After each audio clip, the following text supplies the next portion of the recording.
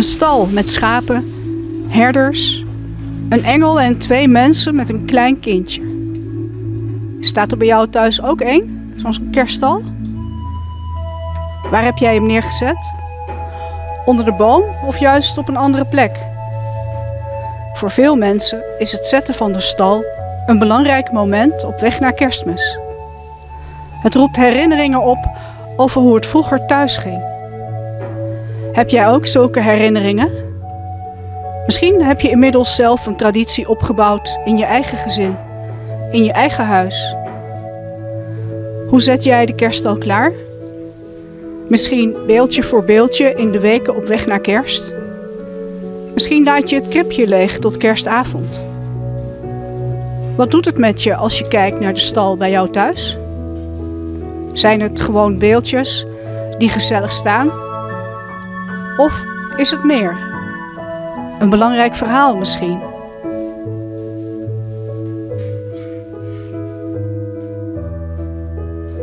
Die kerststal kent al een lange geschiedenis. Er was een man, lang geleden, Franciscus heette hij, die de traditie van de kerststal begon. Dat was in Greccio, in Italië, in de 13e eeuw. Franciscus wilde dat mensen het verhaal van kerstmis echt zouden voelen. Hij wilde dat het meer zou zijn dan een oud verhaal uit een boek. Franciscus geloofde dat God echt onder de mensen wilde wonen. Ook, en misschien wel juist, onder gewone mensen, zoals de arme boeren en dorpelingen van Greccio. Daarom wilde hij kerstmis vieren in een echte stal. Daar waar je de schapen kan ruiken en waar je de koude wind door de kieren van de muur voelt blazen. Daar waar een echte voederbak staat. In de omstandigheden die de mensen van toen kenden. Daar wilde hij het verhaal van kerstmis opnieuw tot leven laten komen. Daarom vroeg hij een vriend om een stal te zoeken en het kerstverhaal uit te beelden. Met echte dieren. En de dorpsbewoners liet hij de personages uit het kerstverhaal zijn.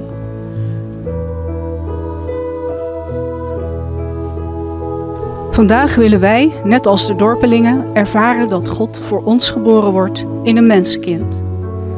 Daarom zoeken we een stal op en stappen we in het verhaal van Kerstmis. We hopen en geloven dat het verhaal iets met ons doet als we het samen beleven. Als we samen rond de kribbe staan, gebeurt het. Wordt het kind weer geboren, ieder jaar opnieuw.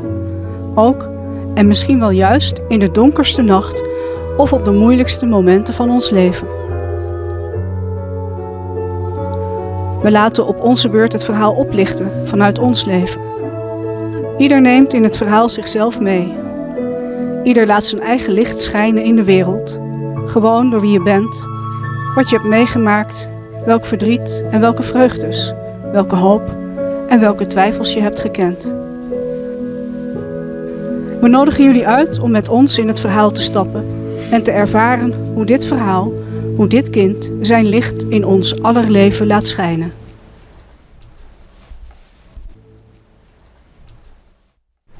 Deze nacht laat ik met zang en muziek horen dat Gods goede nieuws bereikbaar is. Voor alle mensen van goede wil. Ik sta voor de lichtbrengers van deze tijd. Voor degenen die vaak onopvallend het goede doen.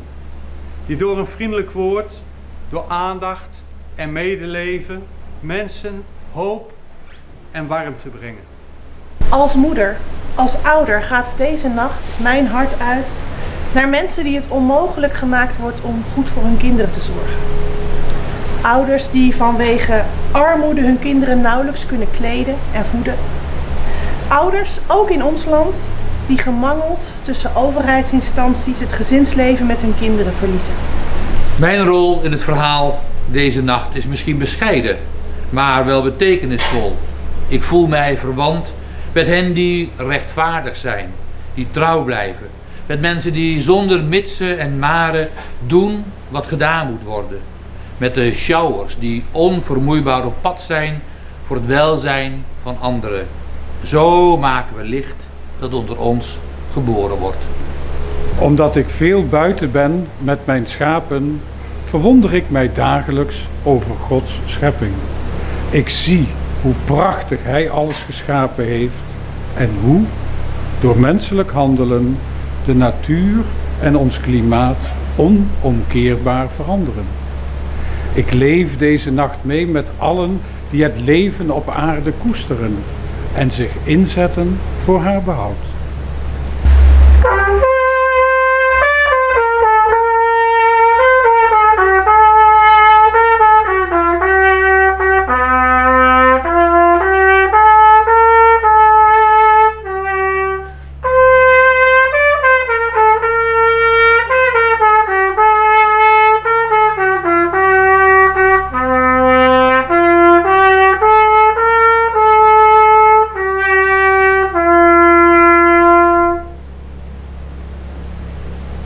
Laten we luisteren naar het geboorteverhaal van het kind, dat zijn licht liet schijnen en nog steeds laat schijnen in onze levens.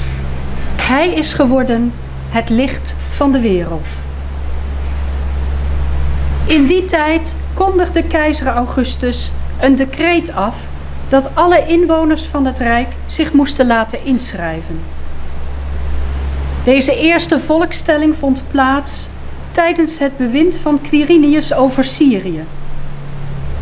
Iedereen ging op weg om zich te laten inschrijven, ieder naar de plaats waar hij vandaan kwam. Jozef ging van de stad Nazareth in Galilea naar Judea, naar de stad van David die Bethlehem heet, aangezien hij van David afstamde om zich te laten inschrijven samen met Maria, zijn aanstaande vrouw die zwanger was. Terwijl ze daar waren, brak de dag van haar bevalling aan. En ze bracht een zoon ter wereld, haar eerstgeborene. Ze wikkelde hem in een doek en legde hem in een voederbak, omdat er voor hen geen plaats was in het nachtverblijf van de stad. Niet ver daar vandaan brachten herders de nacht door in het veld. Ze hielden de wacht bij hun kudde. Opeens stond er een engel van de Heer bij hen en werden ze omgeven door het stralende licht van de Heer, zodat ze hevig schrokken. De engel zei tegen hen: Wees niet bang, want ik kom jullie goed nieuws brengen, dat het hele volk met grote vreugde zal vervullen. Vandaag is in de stad van David jullie redder geboren. Hij is de Messias, de Heer. Dit zal voor jullie het teken zijn. Jullie zullen een pasgeboren kind vinden, dat in een doek gewikkeld in een voederbak ligt. En plotseling voegde zich bij de engel een groot hemels leger dat God prees met de woorden: Eer aan God in de hoogste hemel en vrede op aarde voor alle mensen die Hij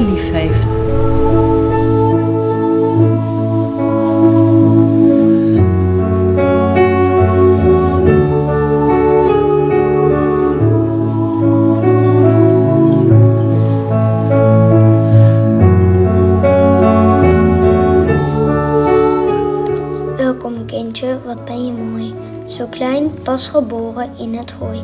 Je naam is Jezus, wat betekent God redt. Geen wieg, maar een voederbak is je bed. Zo ben je geboren en dit is je verhaal. Hoe groot jij werd, weten we allemaal. We staan om jouw kribbe heen en vieren het licht. Want jij, lieve Jezus, toont Gods gezicht.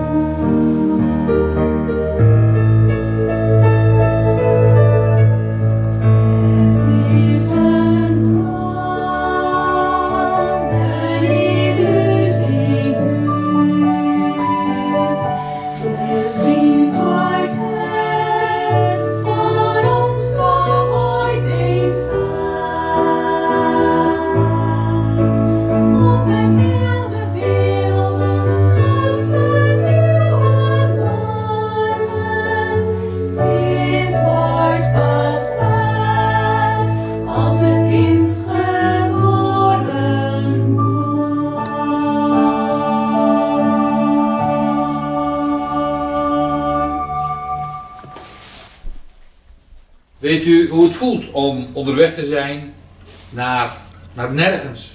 Je weet niet waar. Je huis diep ingepakt in zak of tas. Je hart verborgen onder de kleren. En je hoop zichtbaar kijkend voor je uit. En een kind dat naar je kijkt. Erop vertrouwend dat je hem daar brengt waar hij hoort. Een oud verhaal opnieuw verwoord.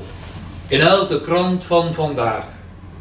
Een oud verhaal dat ons nederig maakt en steeds weer oproept tot gebed. In de warmte van deze stal bidden wij bij het kind in de kribbe. Omwille van Maria en Jozef bidden wij. Voor asielzoekers en vluchtelingen. Op reis gegaan onder valse voorwendselen.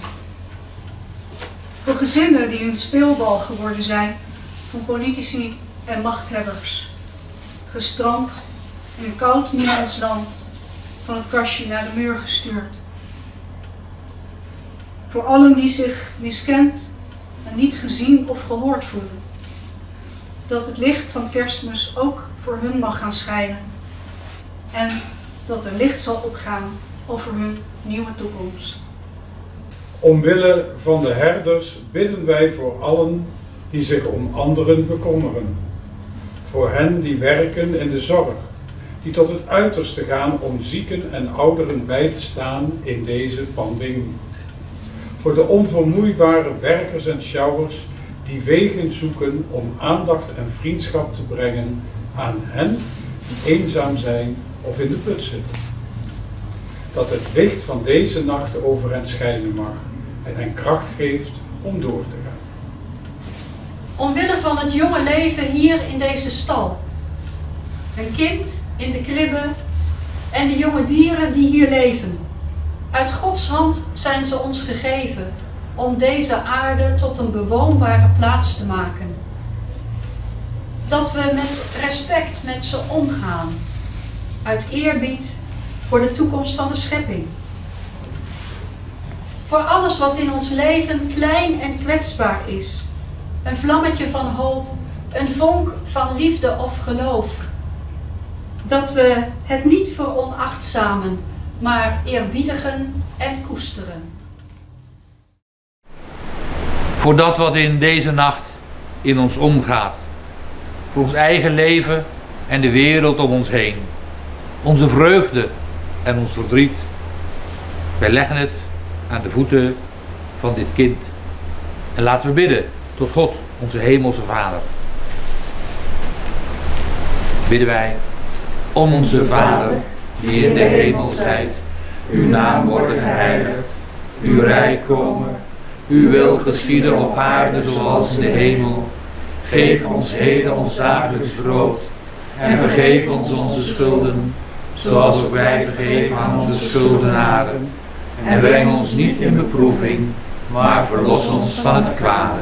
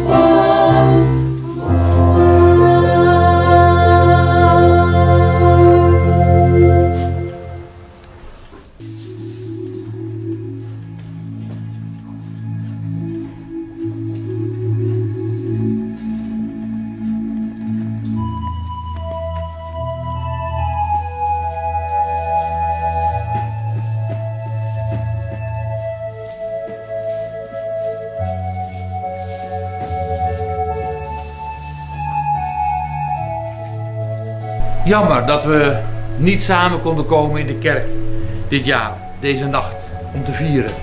Maar we houden moed. En we gaan een nieuwe start maken en we blijven verbonden. We hebben de stal laten zien voor u en u thuis. Misschien voelt u zich wel bijzonder verbonden met een van de figuren hier vanavond, hier vannacht. Vanwege uw leven, vanwege uw ervaringen, vanwege wie jij bent. Misschien voel je al bijzonder verbonden met een van deze personen. Bedenk eens wat dat met je kan doen in het goede. Want we hopen dat het kind ons licht geeft om de goede weg te gaan. En het licht van het kind ook dit jaar, ook deze kerst in de wereld te verspreiden. Laten we dan gaan. Ik, ik zou zeggen, ik zend jullie heen om de geboorte en het licht en het blijde nieuws te verkondigen. Zeg het overal waar je komt en laat de blijdschap van je afstralen. Het kind is geboren. We gaan voor het nieuwe licht, een nieuwe leven. In Gods naam. Zalig kerst. Zalig kerst. Kerst.